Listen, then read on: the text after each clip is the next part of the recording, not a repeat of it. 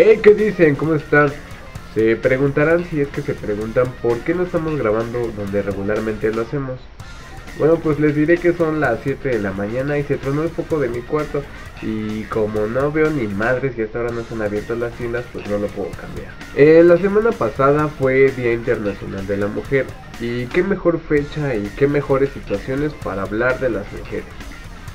Y me refiero en particular al tema Florence Cassette, el cual yo pensé que ya había terminado, pero como toda buena película siempre hay una segunda parte.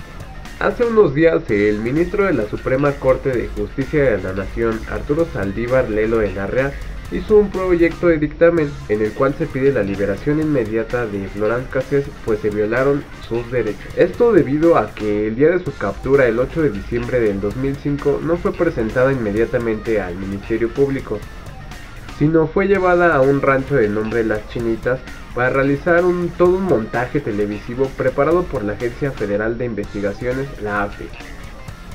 Que por cierto en ese entonces dirigía el maestro, guionista, productor, escenógrafo. Y el Oscar es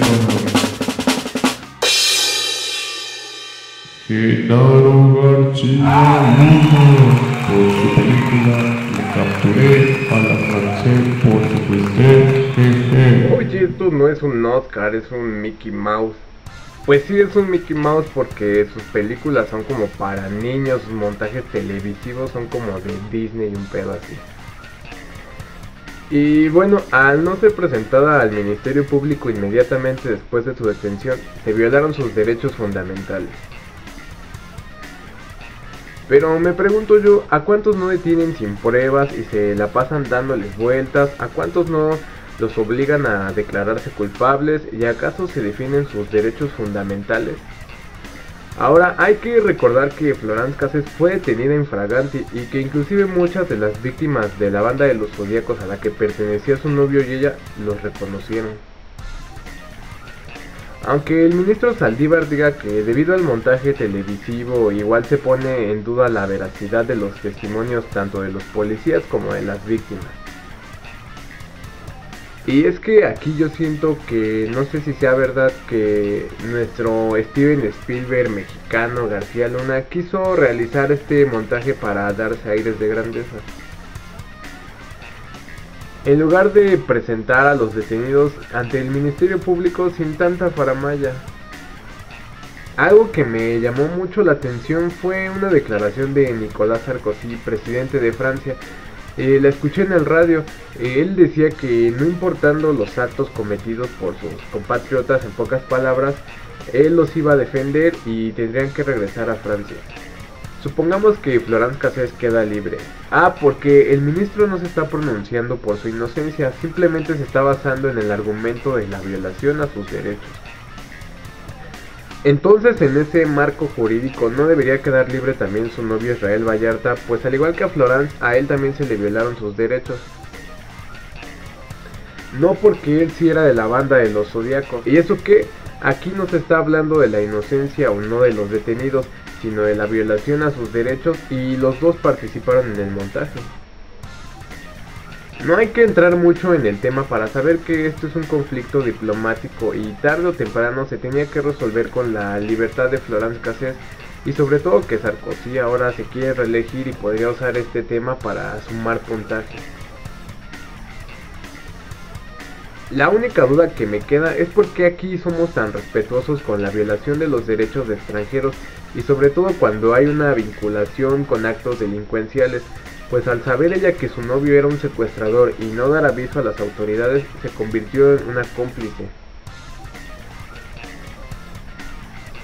Oh, ni modo que le hubiera dicho te presento a mis tíos, a mis primos, cuídalos y no los desates porque a ellos les gusta estar vendados de los ojos y atados de las manos, ¿no? ¿Verdad? Me gustaría que entonces los ministros así se pronunciaran a favor de nuestros connacionales cuando son víctimas de abuso de poder en otros países, sobre todo en Estados Unidos. Aquí lo único que saben hacer es pedir disculpas, si no pregúntenle a Inés Fernández, esta sí un buen ejemplo de una mujer luchadora. Pues al ser violada por tres militares y no encontrar justicia en nuestro país, realizó una larga lucha hasta llegar a instancias internacionales Ya la Corte Interamericana de Derechos Humanos dictaminó 16 resolutivas, dentro de las cuales el Estado mexicano le tenía que pedir disculpas, pues se le declaraba culpable por las violaciones hechas a Inés. Y fíjense, lo que más me motivó fue que estando presente Alejandro Poiré, secretario de Gobernación, Marisela Morales, titular de la PGR, y el gobernador de Guerrero, Ángel Aguirre, Inés manifestó ante su comunidad y ante la gente que la escuchaba que los del gobierno, aunque te digan que están de tu lado, no van a cumplir y no les hagan caso. Ni siquiera Javier Sicilia en sus encuentros con el gobierno de Felipe Calderón fue tan directo. Y es que este es el caso de muchas mujeres que viven en comunidades alejadas de la sociedad, sufren la marginación, el maltrato y no solo de los militares que hostigan a la comunidad, sino de los mismos hombres que la integran. Y aquí valdría la pena preguntarnos cuáles derechos, cuál respeto, cuál igualdad y equidad. La única que lo va a conocer muy pronto es Florence Cassés. Aquí realmente se debería de pensar más que en una estrategia de seguridad, en una estrategia de protección, pero ¿qué tanto te pueden proteger si supuestamente el equipo de trabajo de la ONU dio a conocer que muchas veces estos actos se dan con la participación de los funcionarios públicos? Compas, muchísimas gracias por seguir viendo nuestros videos, ¿verdad? Tú, Genarito.